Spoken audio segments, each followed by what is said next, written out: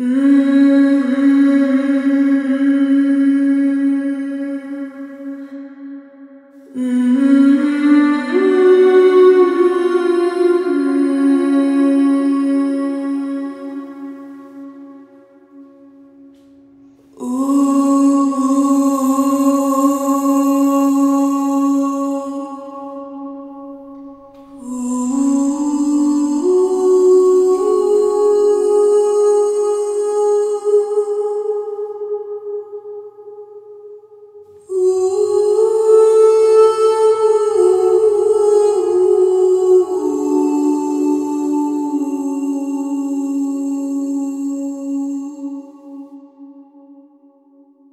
Asturias has had a long and often difficult relationship with gold mining industry.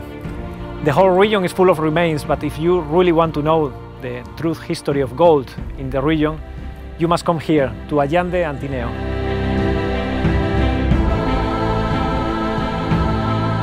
It's here where the Romans started to exploit that precious metal in an industrial fashion, and doing so, they changed the life of the local communities forever.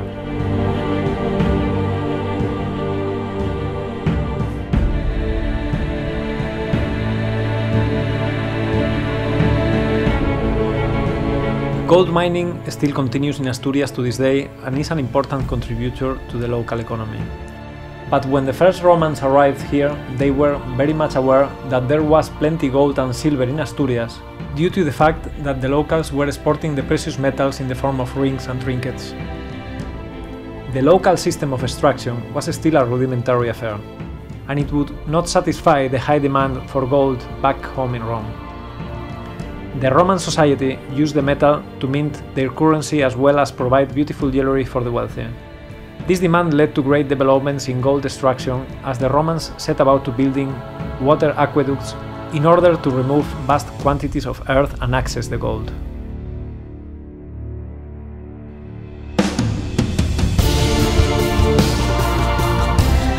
Aqueducts like this were built to move large quantities of water to clean big amounts of earth and stones and access to the gold. The success of this method creates another problem, how to transfer all that gold back to Rome. The Romans set about forcibly recruiting the local Astures to build a vast network of roads to accommodate the transport of their highly valued gold. Before being transported, the gold was cleverly stored in the remaining hilltops forts of the Celts and Astures called castros. As you travel across Asturias today, you will find well-preserved examples of these roads and forts in many areas of the region. The Romans also made good use of the many rivers in order to deliver large quantities of gold to the seaports, where it was transported back to the demanding markets of Rome. These seaports became integral to the commerce and transportation of the gold, and many traces of Roman architecture can be still seen through the cities and coastal ports like Gijón and Castropol.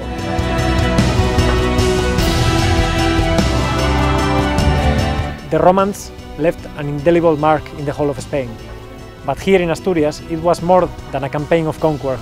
It was industry, transport and engineering.